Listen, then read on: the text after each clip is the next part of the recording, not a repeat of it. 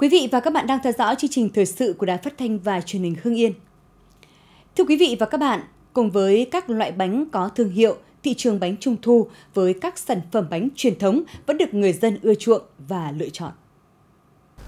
Chỉ trong vòng chưa đầy một tháng, cửa hàng của chị Vũ Hương Giang đã bán hết 6.000 chiếc bánh trung thu truyền thống. Và dù hiện tại các khách hàng vẫn hỏi mua, song cửa hàng không nhập được bánh để bán. Chị Giang cho biết khách hàng vẫn thường xuyên hỏi mua các loại bánh như Đông Hưng, Hương Quỳnh. Các nhà sản xuất sản xuất rất là cầm chừng. Hiện tại mà tại cửa hàng không có hàng bán, à, người dân đến mua là không có bánh lại đi về. Tìm hiểu thị trường bánh trung thu truyền thống tại các cửa hàng đại lý trên địa bàn thành phố Hưng Yên cho thấy giá các loại bánh vẫn như mọi năm, dao động từ 20 đến 60.000 đồng một chiếc. Tuy nhiên, 3-4 ngày gần đây, thị trường bánh truyền thống trở nên sôi động, được các khách hàng mua nhiều.